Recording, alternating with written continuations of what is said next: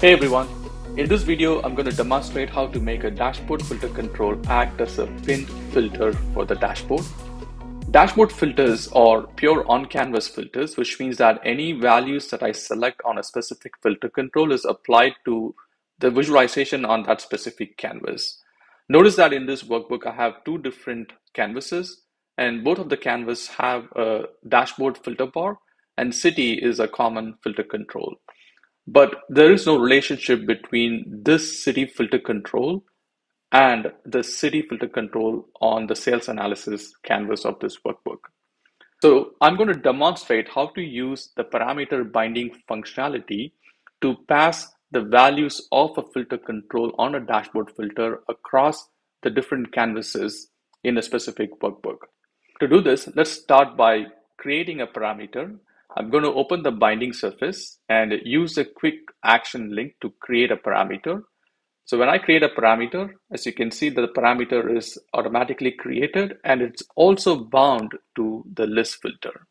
Let's quickly review the parameter definition. Pretty simple definition of text data type, possible values set to any and no initial value. So this parameter is now bound to the city list filter, which means that any values that the user selects from the list filter can be accepted by this parameter. This parameter can hold those values. So the city list filter is now bound to this city parameter. I'm going to go to the sales detailed data canvas and open up the city filter control on this dashboard filter bar and bind this filter column to the same parameter that we just created. So what we have done so far is with a simple UI click, we have bound a parameter to a city filter and the same parameter is bound to other city filters across the canvas in the workbook. By way of binding, any values that the users select is now passed to the parameter. And uh, when you navigate to the sales detail data, because the parameter is bound to the city filter, these values are automatically reflected on the city filter on this specific canvas. So what this has allowed the author to do is with a couple of simple UI clicks, make a dashboard filter control act as a pinned filter for this particular workbook. Let's try to also bind the order priority and product category filter controls. So I'm going to open up order priority, open the binding surface, create the parameter, parameter is created and it's bound to this list filter. Let's do that real quick for product category as well. Open the binding surface, create the parameter.